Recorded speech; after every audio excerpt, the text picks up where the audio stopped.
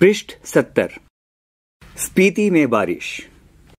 स्पीति हिमाचल प्रदेश के लाहौल स्पीति ज़िले की तहसील है। लाहौल स्पीति का यह योग भी आकस्मिक ही है। इसमें बहुत योगा योग नहीं है। ऊँचे दर्रों और कठिन रास्तों के कारण इतिहास में कम रहा है।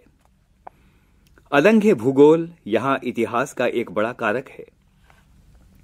अब जबकि संचार में कुछ सुधार हुआ है तब भी लाहौल स्पीति का योग प्राय वायरलेस सेट के ज़रिए है, जो केलंग और काजा के बीच खड़कता रहता है। फिर भी केलंग के बादशाह को भय लगा रहता है कि कहीं काजा का सूबेदार उसकी अवज्ञा तो नहीं कर रहा है। कहीं बगावत तो नहीं करने वाला है। लेकिन सिवाय वायरलेस सेट पर संदेश भेजने के वह कर भी क्या सकता है? वसंत में भी 170 मील आना जाना कठिन है। शीत में प्रायः असंभव है। प्राचीन काल में शायद स्पीति भारतीय साम्राज्यों का अनाम अंग रही है। अब ये साम्राज्य टूटे तो यह स्वतंत्र रही है। फिर मध्य युग में प्रायः लद्दाख मंडल और कभी कश्मीर मंडल, कभी बुशहर मंडल, कभी कुल्लू मंडल, कभी ब्रिटिश भारत के तहत रही है। तब भी प्रायः स्वायत्त रही है। इसकी स्वायत्तता भूगोल ने सिरजी है। भूगोल ही इसकी रक्षा करता है। भूगोल ही इसका संहार भी करता है। पहले कभी उन राजाओं का कोई हरकारा आता था तो उसके आते जाते वह अल्प वसंत बीत जाता था। कभी कोई जोरावर सिंह जैसा आता था तो स्पीति का तरीका वही था, जो तुपचिलिंग गोनपा में मैंने देखा। पृष्ठ संख्या इकहत्तर। जब डायनामाइट का विस्फोट हुआ तो लाहौली हदस कर, आँख बंद कर, चांगमा का तना पकड़ या एक दूसरे को पकड़कर बैठ गए। जब धमाका गुजर गया तो फिर डरते डरते आँख खोलकर उठे। जोरावर सिंह के आक्रमण के समय स्पीति के लोग घर छोड़कर भाग गए। उसने स्पीति को और वहाँ के विहारों को लूटा। यह अप्रतिकार शायद स्पीति की सुरक्षा की पद्धति है। स्पीति में जनसंख्या लाहुल से भी कम है। 1901 की 1901 की जनगणना के अनुसार 3231 रही है। 1971 की जनगणना के अनुसार 7196 है। इसका क्षेत्रफल मुझे 1971 की जनगणना में लाहौल के साथ जोड़कर मिला है, जो 12015 वर्ग किलोमीटर है। स्पीति का अलग क्षेत्रफल नहीं दिया गया है। इंपीरियल गजेटियर ऑक्सफोर्ड 1908 खंड 23 के अनुसार यह क्षेत्रफल 2155 वर्ग मील है। इस तरह स्पीति की जनसंख्या प्रति वर्ग मील चार से भी कम है। 1901 में यह प्रति वर्ग मील दो से भी कम थी। लाहौल स्पीति का प्रशासन ब्रिटिश राज से भारत को जस का तस मिला। अंग्रेज़ों को यह 1846 में कश्मीर के राजा गुलाब सिंह के ज़रिए मिला। अंग्रेज़ इनके ज़रिए पश्चिमी तिब्बत के उन वाले क्षेत्र में प्रवेश चाहते थे। तिब्बत में अंग्रेज़ी साम्राज्य के दूरगामी हित भी थे। जो भी हो 1846 में कुल्लू, लाहौल स्पीति ब्रिटिश अधीनता में आए। पहले सुपरिंटेंडेंट के अधीन थे। फिर 1847 में वे कांगड़ा ज़िले में शरीक कर दिए गए। लद्दाख मंडल के दिनों में भी स्पीति का शासन एक नोनो द्वारा चलाया जाता था। ब्रिटिश भारत में भी कुल्लू के असिस्टेंट कमिश्नर के समर्थन से यह नोनो कार्य करता रहा। इसका अधिकार क्षेत्र केवल द्वितीय दर्जे के मजिस्ट्रेट के बराबर था, लेकिन स्पीति के लोग इसे अपना राजा ही मानते थे। राजा नहीं है तो दमयंती जी को रानी मानते हैं। इस पृष्ठ पर कुछ वर्णन है। एक, वर्तमान। 2002 की जनगणना के अनुसार लाहौल स्पीति का क्षेत्रफल 12,210 वर्ग किलोमीटर तथा जनसंख्या 34,000 है। दो स्थानीय शासक। पृष्ठ संख्या बहत्तर। 1873 में स्पीति रेगुलेशन पास हुआ। 1873 में स्पीति रेगुलेशन पास हुआ जिसके तहत लाहौल और स्पीति को विशेष दर्जा दिया गया। ब्रिटिश भारत के अन्य कानून यहाँ लागू नहीं होते थे। रेगुलेशन के अधीन प्रशासन के अधिकार नोनो को दिए गए, जिसमें मालगुजारी इकट्ठा करना और छोटे छोटे फौजदारी मुकदमों का फैसला करना भी शामिल था। इसके ऊपर के मामले वह कमिश्नर के पास भेज देता था। उन दिनों लाहौल स्पीति का वृतांत कांगड़ा ज़िले के अंतर्गत कुल्लू तहसील में मिलता है। स्वराज के बाद 1960 में लाहौल स्पीति पंजाब राज्य के अंतर्गत एक अलग जिला बना दिया गया, जिसका केंद्र केलंग में है। 1966 में जब हिमाचल प्रदेश राज्य बना तो लाहौल स्पीति इसका उत्तरी छोर का जिला हो गया। यह देश का सबसे अधिक दुर्गम क्षेत्र है। स्पीति इकतीस दशमलव बयालीस और बत्तीस अक्षांश उत्तर और सतहत्तर दशमलव छब्बीस और अठहत्तर दशमलव बयालीस पूर्व देशांतर के बीच में स्थित है। यह चारों ओर के ऊँचे ऊँचे पहाड़ों का कैदी है। इन पहाड़ों की औसत ऊंचाई अठारह हज़ार फीट है। यह पहाड़ उसे पूरब में तिब्बत, पश्चिम में लाहुल, दक्षिण में कन्नौर और उत्तर में लद्दाख से अलग करते हैं। इसकी मुख्य घाटी इसी नाम की स्पीति नदी की घाटी है। स्पीति पश्चिम हिमालय में लगभग 16,000 फीट की ऊंचाई से निकलकर पूरब में तिब्बत में बहती है।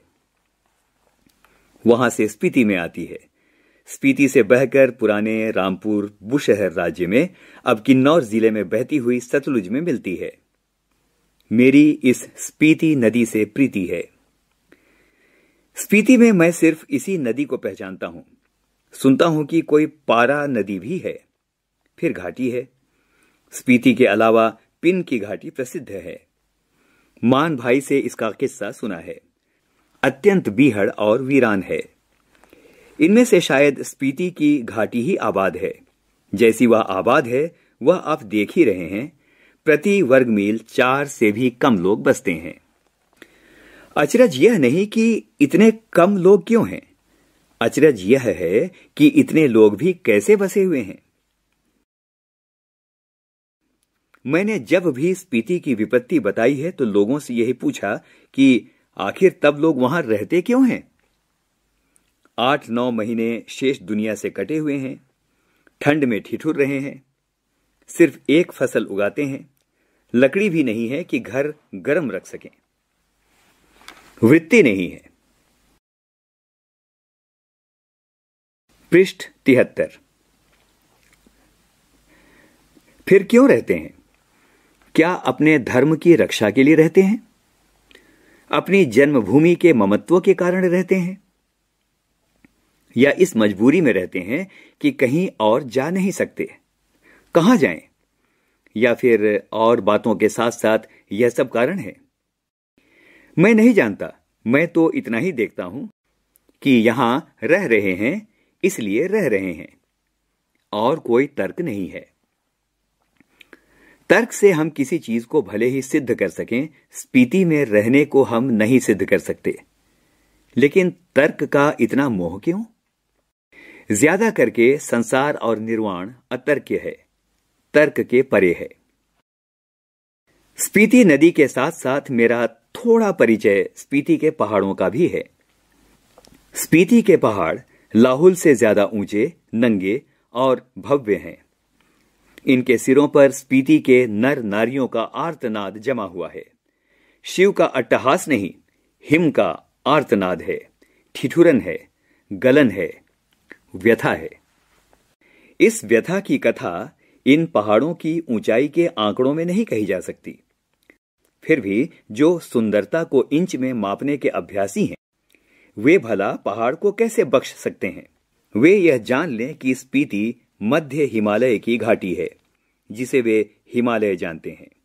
स्केटिंग, सौंदर्य प्रतियोगिता, आइसक्रीम और छोले भटूरे का कुल्लू मनाली, शिमला, मसूरी, नैनीताल, श्रीनगर, वह सब हिमालय नहीं है। हिमालय का तलुआ है।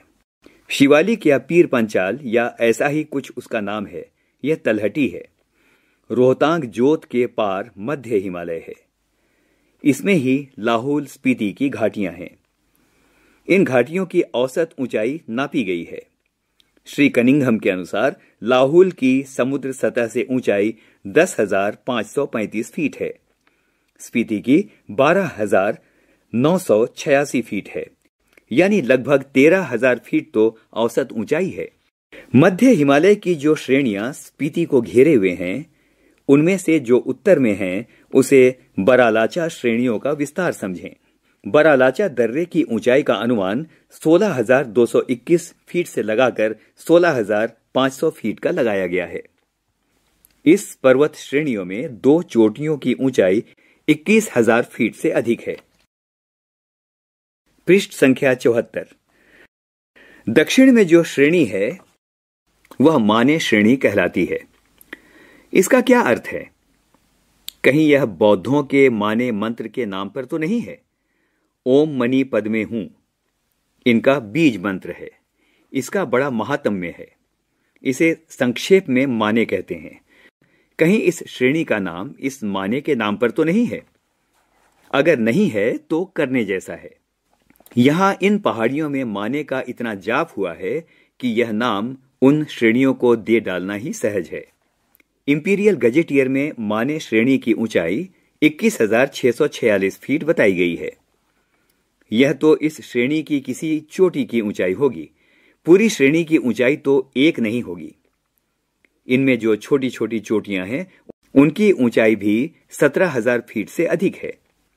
कई गाँव समुद्र की सतह से 13,000 फीट से ऊँचे बसे हैं। एक या दो 14,000 फीट की ऊंचाई पर हैं। ये मध्य हिमालय है। इसमें स्पीति स्थित है। इसके पार वाह्य हिमालय दिखता है। इसकी चोटी तेईस हज़ार चौसठ फीट ऊँची बताई जाती है।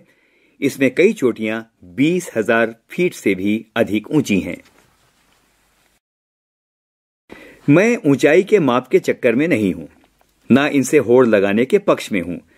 वह एक बार लोसर में जो कर लिया, सो बस है। इन ऊंचाइयों से होड़ लगाना मृत्यु है। हाँ कभी कभी उनका मान मर्दन करना मर्द और औरत की शान है। मैं सोचता हूँ कि देश और दुनिया के मैदानों से और पहाड़ों से युवक युवतियाँ आए और पहले तो स्वयं अपने अहंकार को गलाएँ, फिर चोटियों के अहंकार को चूर करें। उस आनंद का अनुभव करें जो साहस और कुवत से यौवन में ही प्राप्त होता है। अहंकार का ही मामला नहीं है।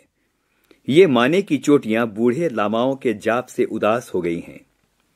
युवक युवतियाँ किलोल कर लें तो यह भी हर्षित हों। अभी तो इन पर स्पीति का आर्तनाद जमा हुआ है। वह इस युवा अट्टहास की गर्मी से कुछ तो पिघले। यह एक युवा निमंत्रण है।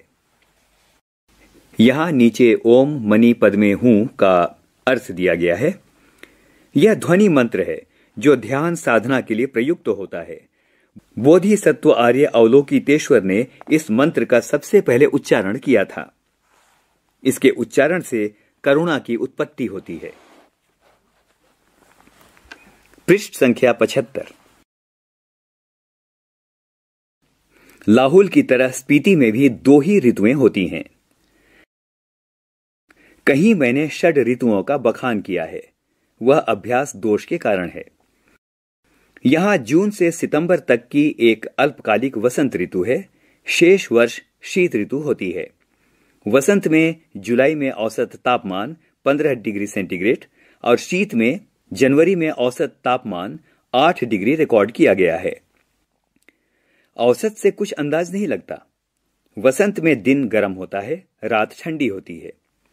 शीत में क्या होता है? इसकी कल्पना ही की जा सकती है। और कभी रहकर ही देखा जा सकता है। स्पीति में वसंत लाहौल से भी कम दिनों का होता है। वसंत में भी यहाँ फूल नहीं खिलते, ना हरियाली आती है, ना वह गंध होती है। दिसंबर से घाटी में फिर बर्फ़ पड़ने लगती है। अप्रैल, मई तक रहती है। यहाँ ठंडक भी लाहौल से ज़्यादा पड़ती है। नदी नाले सब जम जाते हैं और तेज हवाएँ चलती हैं। मुँह, हाथ और जो खुले अंग हैं उनमें जैसे शूल की तरह चुभती हैं। स्पीति में लाहौल से कम वर्षा होती है। मध्य हिमालय मानसून की पहुँच के परे है। यहाँ बरखा बहार नहीं है। कालिदास को अपने ऋतु संहार में यहाँ वर्षा का तो संहार करना ही पड़ेगा। कालिदास में वर्षा का क्या ठाठ है? यह वर्षा वर्णन इस प्रकार शुरू होता है। जल की फुहारों से भरे बादलों के मतवाले हाथी पर चढ़ा हुआ चमकती हुई बिजलियों की झंडियों को फहराता हुआ और बादलों की गरज के नगाड़े बजाता हुआ यह कामी जनों का प्रिय पावस राजाओं का सा ठाट बाट बनाकर आ पहुँचा। यह पावस यहाँ नहीं पहुँचता है। कालिदास की वर्षा की शोभा विंध्याचल में है। हिमालय की इन मध्य की घाटियों में नहीं है। मैं नहीं जानता कि इसका लालित्य लाहौल स्पीति के नर नारी समझ भी पाएँगे या नहीं। वर्षा उनके संवेदन का अंग नहीं है। वह जानते नहीं हैं कि बरसात में नदियाँ बहती हैं।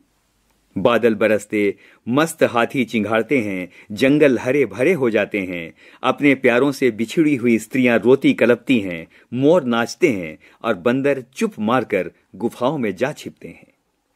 अगर कालिदास यहाँ आकर कहें कि अपने बहुत से सुंदर गुणों से सुहानी लगने वाली, स्त्रियों का जी खिलाने वाली, पेड़ों की टहनियों और बेलों की सच्ची सखी तथा सभी जीवों का प्राण बनी हुई वर्षा ऋतु आपके मन की सब साधें पूरी करें तो शायद स्पीति के नर नारी यही पूछेंगे कि यह देवता कौन है? कहाँ रहता है? यहाँ क्यों नहीं आता? स्पीति में कभी कभी बारिश होती है। वर्षा ऋतु यहाँ मन की साध पूरी नहीं करती।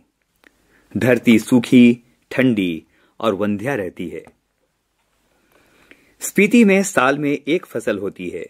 मुख्य फ़सलें हैं दो किस्म का जौ, गेहूँ, मटर और सरसों। इसमें भी जौ मुख्य है। सिंचाई का साधन पहाड़ों से आ रहे नाले हैं या उन पर बनाए कूल हैं। ये नालियाँ पहाड़ों के किनारे किनारे बहुत दूर तक जाती हैं। स्पीति नदी का तट इतना चौड़ा है कि इसका पानी किसी काम में नहीं आ पाता। स्पीति में ऐसी भूमि बहुत है जो खेती के लायक बनाई जा सकती है। शर्त इतनी है कि इसके लिए स्पीति में जल उलीचा जाए। या फिर पानी का कोई और स्रोत पहुँचाया जाए। स्पीति में कोई फल नहीं होता। मटर और सरसों छोड़कर कोई सब्ज़ी नहीं होती। शायद ऊंचाई, वायुमंडल के दबाव में कमी, ठंड की अधिकता, वर्षा की कमी वगैरह के कारण यहाँ पेड़ नहीं होते। इसलिए स्पीति विशेषकर नंगी और वीरान है। पृष्ठ सतहत्तर। वर्षा यहाँ एक घटना है। एक सुखद संयोग है। हम काजा के डाक बंगले में सो रहे थे तो लगा कि कोई खिड़की खड़का रहा है। आधी रात का भी पिछला पहर है। इस समय कौन है? लैंप की लौ तेज की, खिड़की का पल्ला खोला तो तेज हवा का झोंका मुँह और हाथ को जैसे छीलने लगा। मैंने पल्ला भिड़ा दिया, उसकी आड़ से देखने लगा। देखा कि बारिश हो रही थी। मैं उसे देख नहीं रहा था, सुन रहा था। अंधेरा, ठंड और हवा का झोंका आ रहा था। जैसे बर्फ़ का अंश लिए तुषार जैसी बूंदें पड़ रही थीं, जैसे नगाड़े पर थाप पड़ रही थी, दुंगछेन को हवा बजा रही थी, महाशंख की ध्वनि घाटी में तैर रही थी, स्पीति की घाटी में वर्षा हो रही थी, कमरे में ठंड बढ़ रही थी। मैं बिस्तर पर पड़ा पड़ा मालूम नहीं कब सो गया। सुबह उठा। चाय पीते पीते सुना कि स्पीति के लोग कह रहे हैं, हमारी यात्रा शुभ है। स्पीति में बहुत दिनों के बाद बारिश हुई है। अभ्यास। पाठ के साथ। एक, इतिहास में स्पीति का वर्णन नहीं मिलता। क्यों? दो स्पीति के लोग जीवन यापन के लिए किन कठिनाइयों का सामना करते हैं? तीन, लेखक माने श्रेणी का नाम बौद्धों के माने मंत्र के नाम पर करने के पक्ष में क्यों है? चार, ये माने की चोटियाँ बूढ़े लामाओं के जाप से उदास हो गई हैं। इस पंक्ति के माध्यम से लेखक ने युवा वर्ग से क्या आग्रह किया है? पाँच वर्षा यहाँ एक घटना है, एक सुखद संयोग है। लेखक ने ऐसा क्यों कहा है? छ, स्पीति अन्य पर्वतीय स्थलों से किस प्रकार भिन्न है? पाठ के आसपास। एक, स्पीति में बारिश का वर्णन एक अलग तरीके से किया गया है। आप अपने यहाँ होने वाली बारिश का वर्णन कीजिए। दो, स्पीति के लोगों और मैदानी भागों में रहने वाले लोगों के जीवन की तुलना कीजिए। किन का जीवन आपको ज़्यादा अच्छा लगता है और क्यों? पृष्ठ अठहत्तर। तीन, स्पीति में बारिश एक यात्रा वृतांत है। इसमें यात्रा के दौरान किए गए अनुभवों यात्रा स्थल से जुड़ी हुई विभिन्न जानकारियों का बारीकी से वर्णन किया गया है। आप भी अपनी किसी यात्रा का वर्णन लगभग 200 शब्दों में कीजिए। चार, लेखक ने स्पीति की यात्रा लगभग 30 वर्ष पहले की थी। इन 30 वर्षों में क्या स्पीति में कुछ परिवर्तन आया है? जाने, सोचें और लिखें। भाषा की बात। एक पाठ में से दिए गए अनुच्छेद और बल्कि जैसे ही, वैसे ही, मानो, ऐसे शब्दों का प्रयोग करते हुए उसे दोबारा लिखिए। लैंप की लो तेज की। खिड़की का पल्ला खोला तो तेज हवा का झोंका मुँह और हाथ को जैसे छीलने लगा। मैंने पल्ला भिड़ा दिया, उसकी आड़ से देखने लगा देखा कि बारिश हो रही थी। मैं उसे देख नहीं रहा था, सुन रहा था। अंधेरा, ठंड और हवा का झोंका आ रहा था। जैसे बर्फ़ का अंश लिए तुषार जैसी बूंदें पड़ रही थीं। शब्द छवि, अलंघ्य, यानी जिसे लांघा या पार किया न जा सके। स्वायत्त अर्थात स्वतंत्र। अतर्क्य, यानी तर्क न करने योग्य। आर्तनाद, यानी दर्द भरी आवाज़। स्वर में दुख का ज्ञापन या सहायता की पुकार। पीर पंचाल, यानी एक पर्वत श्रृंखला। महात्म्य, अर्थात महिमा या गौरव। कुवत, यानी बल या शक्ति। षड ऋतुएँ, अर्थात छह ऋतुएँ, वसंत, ग्रीष्म, वर्षा, शरद, शिशिर और हेमंत। तुषार, यानी हिम या बर्फ़। दुंग छेन यानी एक तरह का वाद्य यंत्र महाशंख जिसे फूंक मारकर बजाया जाता है।